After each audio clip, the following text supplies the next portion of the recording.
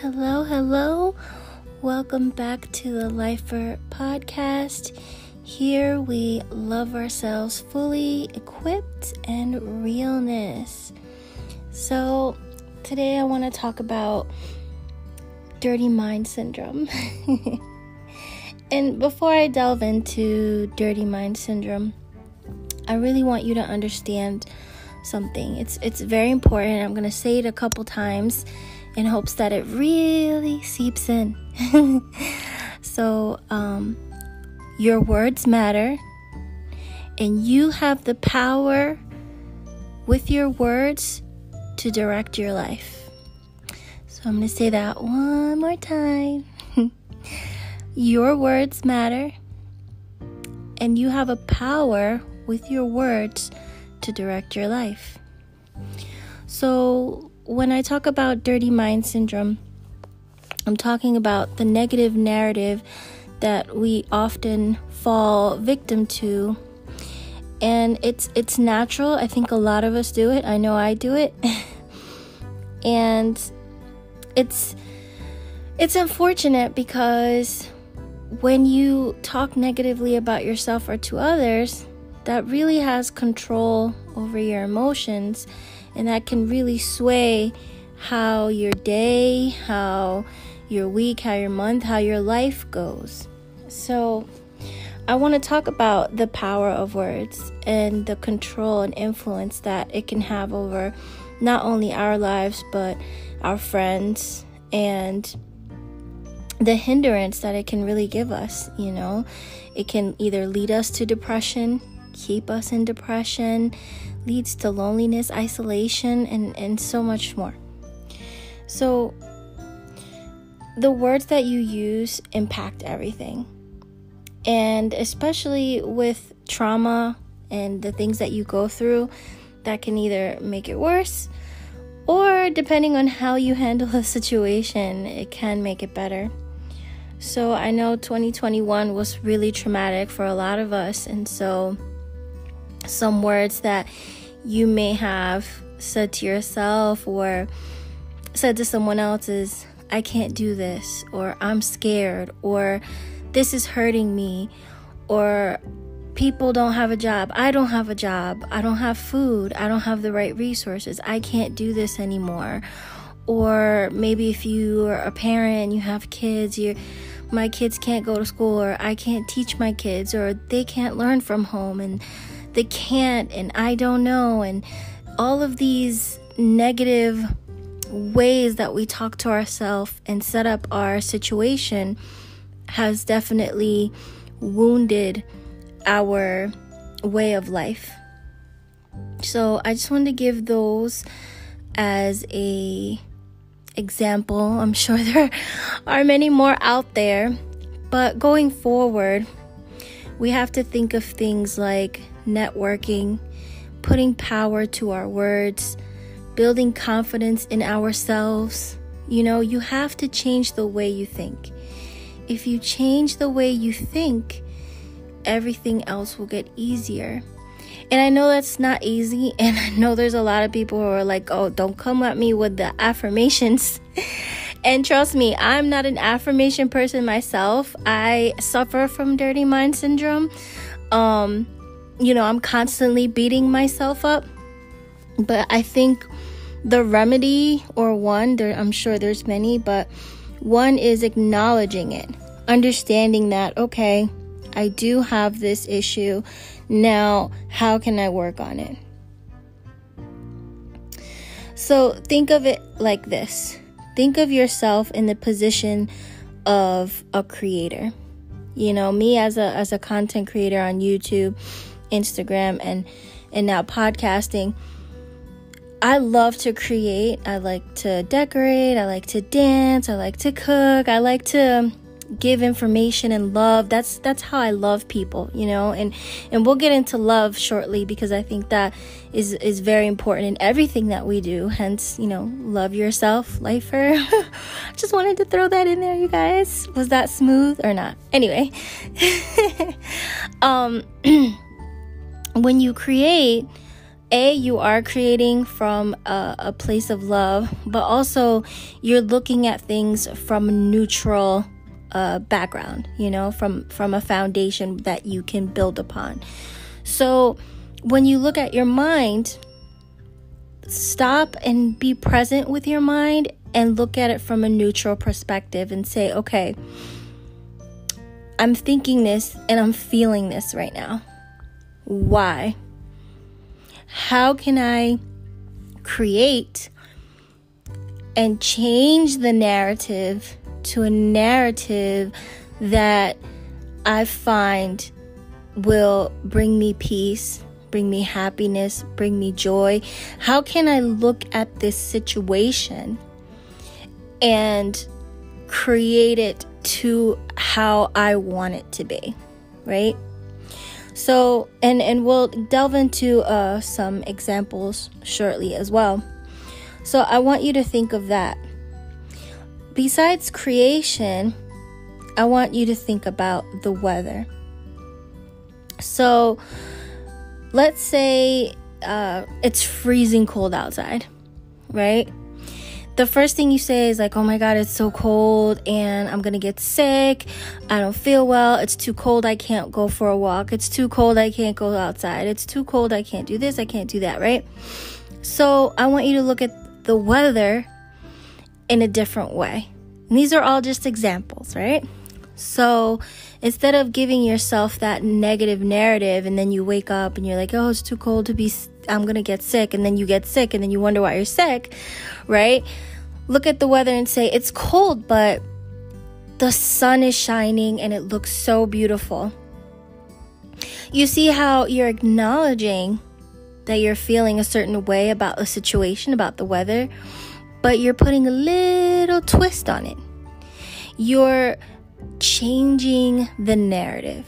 You're looking at it in a different way.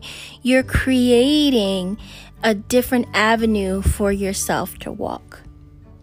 So I, I like the I like the weather analogy a lot because I constantly I'm not a friend of the cold. I don't like the cold at all, but I like to find beauty in everything that comes my way or I try to find the beauty in everything that I, comes my way. So, life is what you make it, right? I think that that is pretty clear to most of us. And some people like to make excuses for their life and why things aren't how they are. But when you understand life is what you make it, then you have control over your life and you can choose how you want it to be. So, um, some other things that I wanted to discuss that would help you to perhaps change the dirty mind syndrome or soften the way that you feel and think toward yourself is observe it. Observe how you're feeling, be present with why you're feeling it. And criticism is okay, right? A little bit of criticism is okay because that can motivate you to get outside your comfort zone right that can give you a little bit of a reality check when maybe your your id and your ego want to go to a party but when you're being present and you're acknowledging how you're feeling and you breathe in you breathe out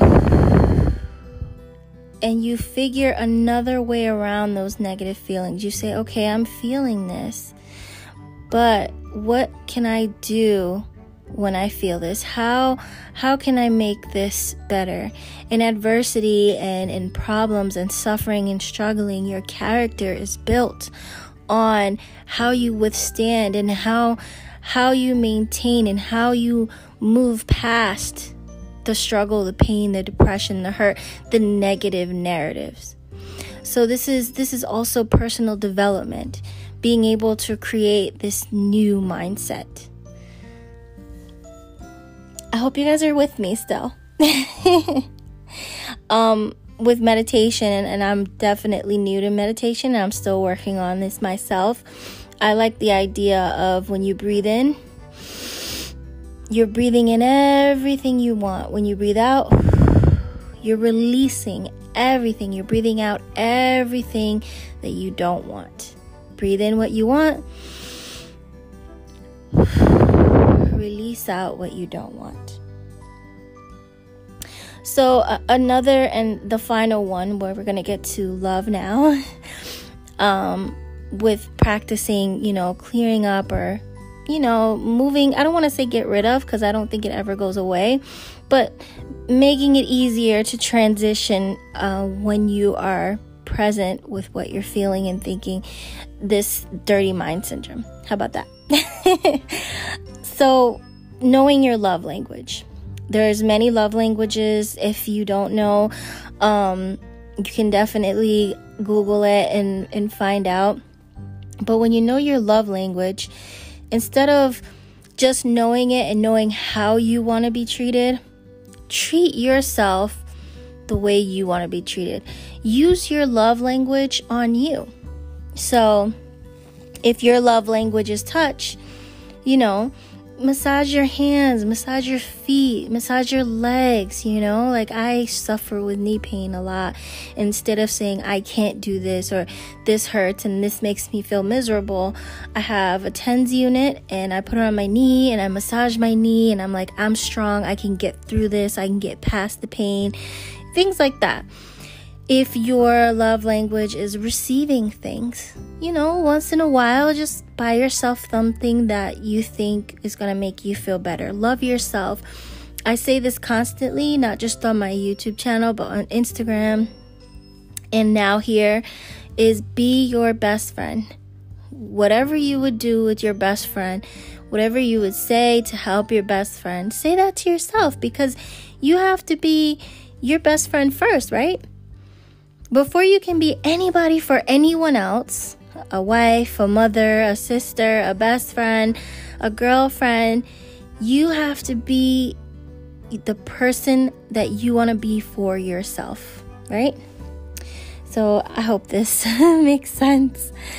So, going back to practicing your love language, your internal monologue should be practicing positivity and love affirmations.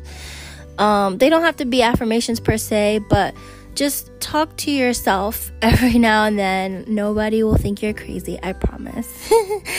and say, you know, like, hey, how are you feeling today? You know, good morning. Today's going to be a great day. I am going to walk out into the world and I'm just going to have the best day. I'm going to experience and learn something new today and I'm going to feel great. And when you do that, your brain is saying to every other part in your body, it's going down your, your central nervous system and it's saying, hey, you know, she's gonna have a great day. So let's let's make those neurotransmitters fire. Let's like let's get those good feelings, those nice vibes out there, you know? and and then you start to feel good. So there's a lot of other sayings that I feel you can put towards what I'm trying to explain. So when they say practice what you preach, uh, what's another saying? Um, lo que dice lo que hace. Um, what else?